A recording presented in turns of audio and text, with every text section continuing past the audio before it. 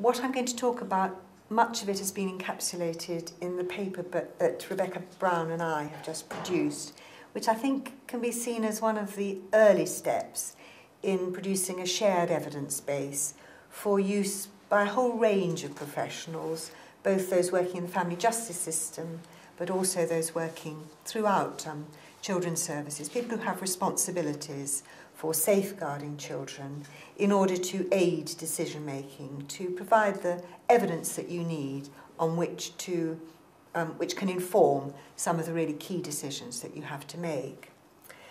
I'm going to be looking at three specific questions.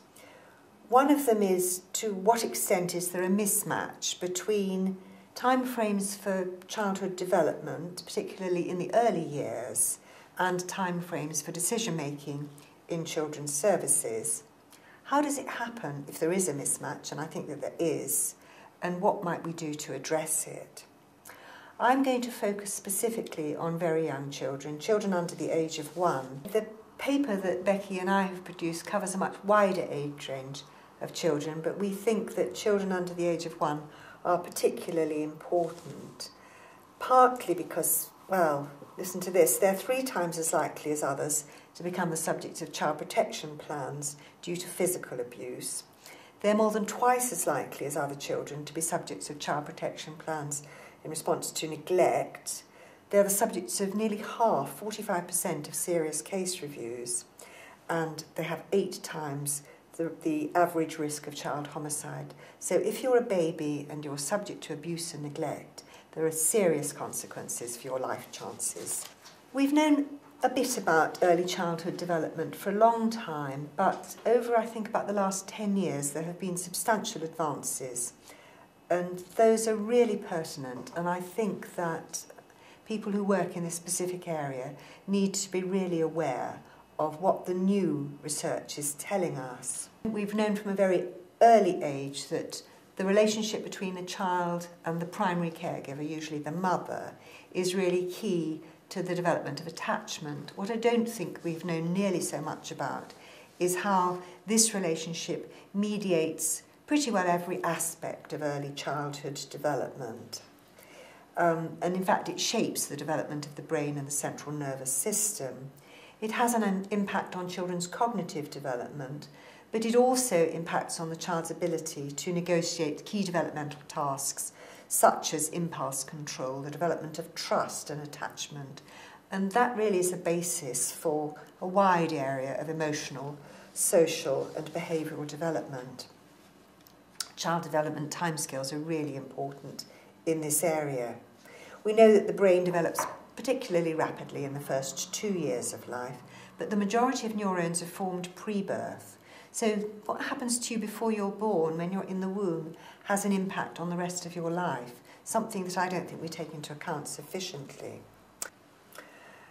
The relationship, the, the interaction, the quality of this interaction with your primary caregiver, and I think I'm going to call this person the mother, just for the sake of argument, for the rest of this talk, the, your, the sensitivity of, of that attachment at 6 to 15 weeks correlates with the way in which um, very young children relate at 18 months. So, really, in the very few first few weeks of life, that attachment starts to develop and starts to shape the way in which the child, the child advances, the child progresses. There is very interesting research that shows, for instance, that babies who are placed for adoption before their first birthdays are more likely to develop secure attachments to their adoptive carers than those who are placed afterwards. Those are the sort of time frames that we need to be aware of when making decisions about what should happen to these very vulnerable children. The baby learns to regulate their emotions through the process of attachment and they begin to stabilise the way in which they respond to stress at around six months of age. The way in which your mother picks you up and strokes you and comforts you and murmurs to you while, while they're trying to calm you down, helps you deal with stress. If you don't get that sort of response from your mother, then there, well, from your primary caregiver, then there could be difficulties. Language comprehension also, also begins very early on, within the first two years. So, what's the impact of abuse and neglect on this process? Well, there is evidence from the Romanian orphans, but also from studies done in the United States on children who have been very severely neglected, that severe global neglect in the first three years of life literally stunts the growth of the brain. The problem is too that the brain adapts as readily to negative as to, posit- as to a positive environment. So children who are persistently maltreated develop different reactions to stress. They don't adapt, they, they become maladapted to stress and they, they deal with it in a way that isn't necessarily helpful to themselves or to others. And we are particularly concerned, the latest research suggests that frightened or frightening parental behaviour is associated with disorganised attachments um, from about the age of 12 to 18 months. So at Loughborough, we have been following a cohort of very young children um, who were identified as likely to be abused or neglected, likely to suffer significant harm before their first birthdays. We have been following these children um, until, first of all, till they were three, and then again until they were five, and we're hoping to follow them for a bit longer.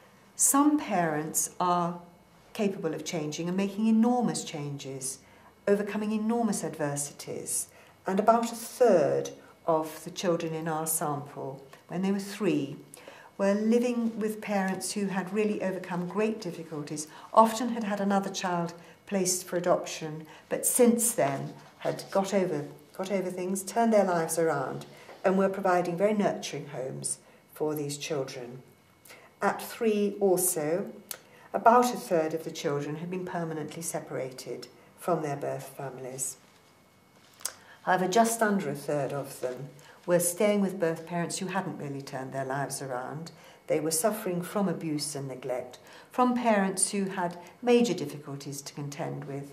About half the children, by the time they were three, had experienced some abuse and neglect, many of them while they were um, being supported, while they were open cases in children's social care.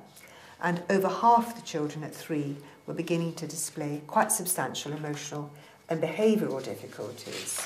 If we look at the children when they were five, we can see that things were not so good at five as they were at three for many of these children. That, I think, is a major cause for concern. You'd hope that things got better for these children, but for many of them, they got worse. At five, we still have these emotional behavioural difficulties and they are becoming entrenched. These are, these are really quite serious issues. There are children in the sample, for instance, who have very, very aggressive behaviour patterns.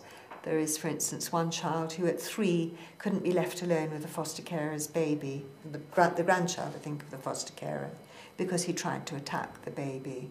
There was another child who couldn't be left alone with a family pet for the same reason. We have a five-year-old in the sample who is self-harming at five, shutting his fingers indoors, trying to hurt himself. Um, there are children who have really quite substantial behavioural difficulties in this study. And most of those were evident at three and are more established at five.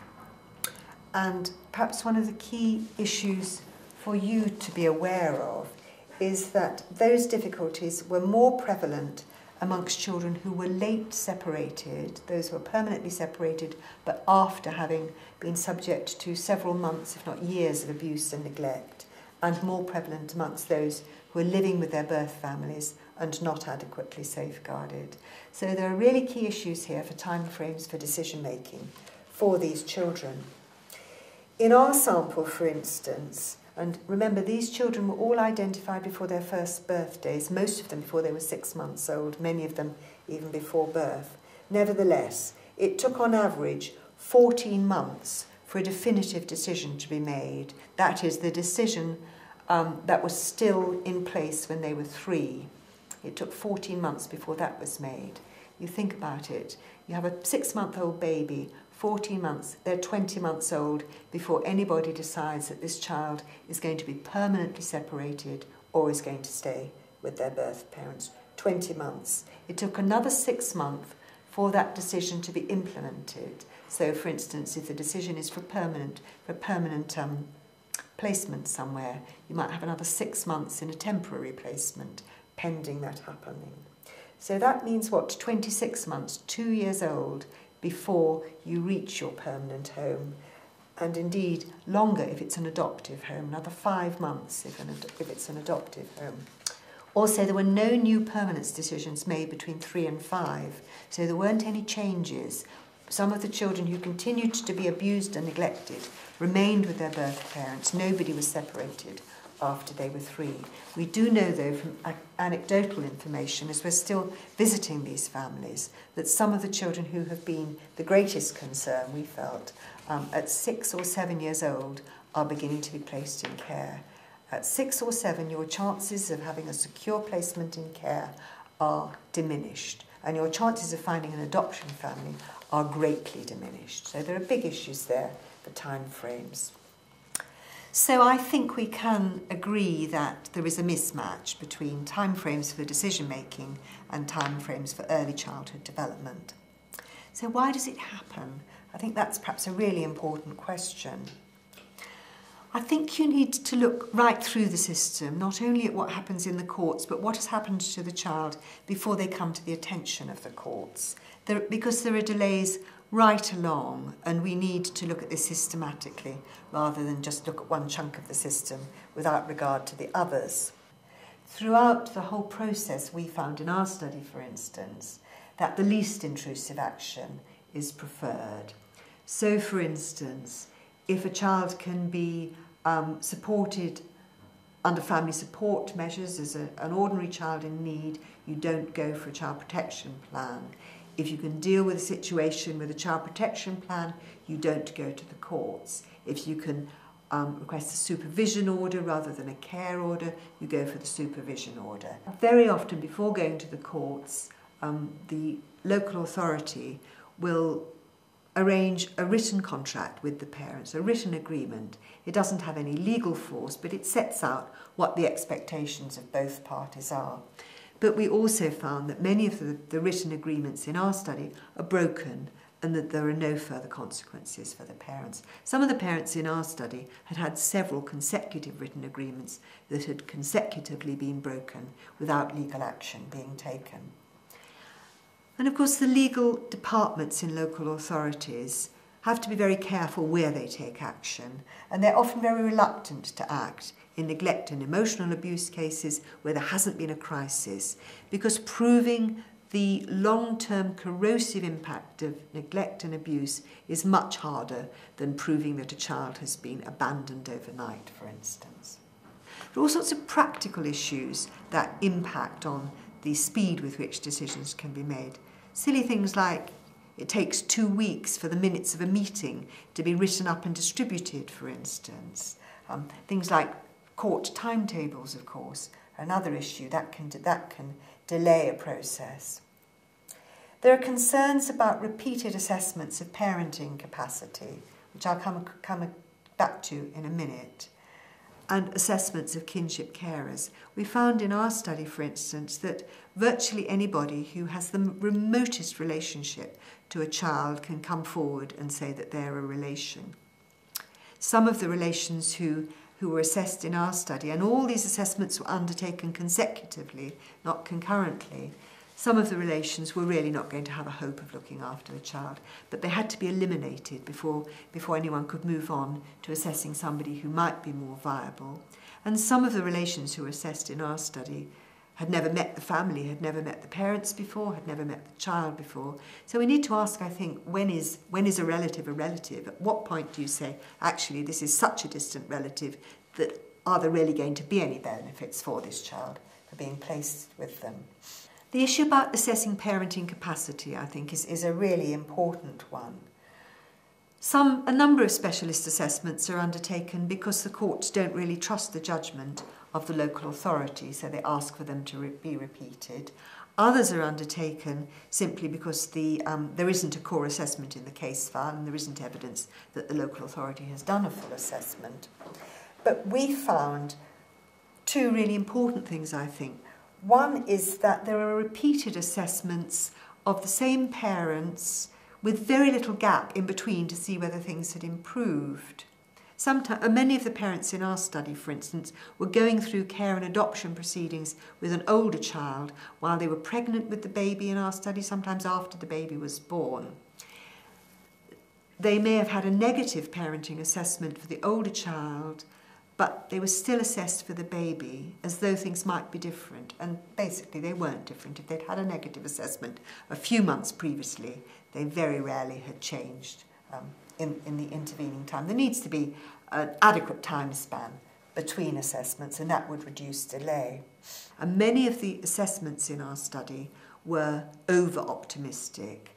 Um, we found, for instance, that two-thirds of the parenting assessments in our study advised that the child should remain with their birth parents, but by the time they were three, over half of these children had had to be removed. They were over optimistic, and that increased the delay in making a viable permanent resolution for these children. Another issue that we found was all the focus is on the parenting assessments. We didn't find a single paediatric assessment of the impact of the abuse and neglect on the child's developmental processes. That might be something that one would focus on that, would, that could speed things up for these children and provide evidence that the courts need at a much earlier stage. Elaine Farmer's study on neglected children returning home um, found, for instance, that's Farmer and Lutman, they found that proactive social work case management started to diminish um, after, after children were six years old. From children as young as six years old, people started to take less proactive actions. Attention starts to drop off from about the age of five or six, and then, of course, these children re emerge as adolescents who have been neglected throughout their lives with consequent difficulties. A number of the children who've been separated in our study had experienced two major difficulties. First of all, they had spent lengthy periods in very abusive, neglectful families before they were removed. So they had all the consequences of that um, neglect and abuse to deal with. And then they had sometimes been placed with very nurturing, temporary foster carers. They had maybe formed a close attachment to the foster carer, but then they had been moved on to an adoptive carer. They had had to suffer the experience of um, bereavement, really, bereavement and loss, the end of that close, the only close relationship that they had had. So they'd really learnt twice over that you can't trust adults. They're not going to be there, or if they are there, they may, they may hurt you. There's evidence also from the Farmer and Lutman study about the consequences of care plans. They found that 62%, almost two thirds of care plans made by the court are not actually carried out. There are reasons, of course, things change very often between the court making the decision and being able to implement it, but almost two thirds weren't carried out. They also found that supervision orders can be very ineffective. Again, about two thirds of the supervision orders in their study hadn't been effective in safeguarding the child. The child had to return to care, or a care order had had to be made. There are major issues about court mandated placements. Um, Farmer Lutman found that 87% of those break down placements with own parents. 87% of court mandated placements with own parents break down. And about two thirds of maltreated children who return home from care or accommodation are subsequently readmitted. There's evidence from a study by Nina Biehal and colleagues that shows that maltreated children who are placed away from home um, in adoption, special guardianship, or in long term foster care do better than those who remain with their birth families. There's also a study by Jim Wade and colleagues that shows really, I think this is a really good study. It's methodologically outstanding and the findings are really interesting. They compared children who were in care who they compared those who stayed in care with those who returned home. They're all neglected and abused children. That's the reason why they had come into care. They found that those who went home did better both in terms of well-being and also stability than those who went home. So care system is not nearly as ineffective as you might think it was if all you did was read the, read the media. And there are issues about delayed decisions and um, placement instability. There is a close relationship between putting off a decision and children's need to move from one placement to another because until there is a definitive decision, those children will be in temporary placements and they will move from one temporary placement to another without anybody thinking this has to be a permanent solution for this child. I think there is a really good case to be made for more feedback to the courts and to expert assessors about the outcomes of the decisions that they make and the recommendations that they make. If you find that most of your positive recommendations turn out to have been overly optimistic in the long run, that should surely lead you to question some of the decisions that you're making. I think one could perhaps do something about identifying where delays occur within the family justice system, looking perhaps at some individual cases, monitoring exactly why there have been delays, and seeing whether that might give some general information, some general indicators about factors that could be addressed. Better, admin, uh, better administrative support, for instance, might make quite a difference, I would have thought. And of course, the under some understanding of the impact of delay, I think, should inform decisions about the welfare of the child. And there are a number of things that can be done. One of the things, of course, is to speed up the adoption process, and that's, that's actually the route that is being taken at the moment. So you make faster decisions. There are more children, maybe more children should be placed for adoption, and there are certainly incentives now, there are encouragement for um, local authorities to place more children for adoption. There are new targets, there are benchmarking for these decisions, and so on. That could be in the interests of children, and certainly the research evidence suggests that decisions should be made more quickly and that action should be taken faster though whether more children or many more children would be suitable for adoption, I think is not necessarily the case. But if there is a huge incentive on placing more children for adoption, there will be more children who are unnecessarily separated from their birth families. Remember, some of the families in our study succeeded in turning their lives around. So there'll be real concerns for that. I think that adoption will only really be suitable for a relatively small number of children. And I think also there's a lot of evidence that adoptive parents are likely to need long term support. So, what can be done? What other ways forward might there be? We could have much more effective and timely services, more timely assessment, for instance, pre birth assessment. There are a number of evidence based programmes which have been shown to be effective, and I think more use could be made of them.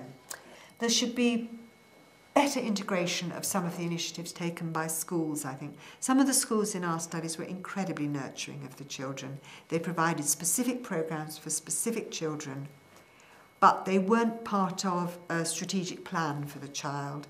So when the child moved to a new teacher, for instance, or moved to a new school, there was no guarantee that that intensive nurturing would continue. There aren't very good processes for stepping down from intensive services so that parents might get a very intensive bit of support and then that was that, the case was closed. And in fact, some of the parents that we interviewed who had had support from children's social care and were doing well found that they were found to be doing all right after really quite a short period of time, six months perhaps, something like that. And then the case was closed.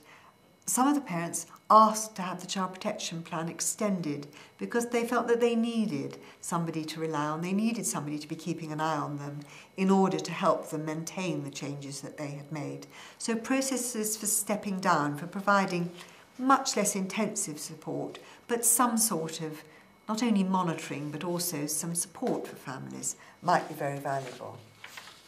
We know, we know what the primary risk factors for maltreatment are substance misuse, domestic and community violence, mental health problems, and experience of abuse in childhood.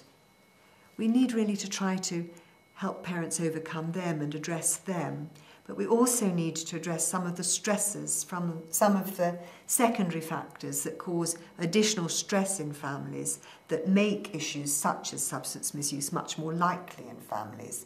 And those are, those are things like poverty, things like unemployment, poor housing, isolation, social exclusion, and inequality. We need to be able to address those in families. I think addressing those factors is a necessary step towards reducing the prevalence of abuse and neglect. I also think, sadly, that some of the new policies on, on welfare reform, particularly, are likely to exacerbate those factors rather than to, to address them.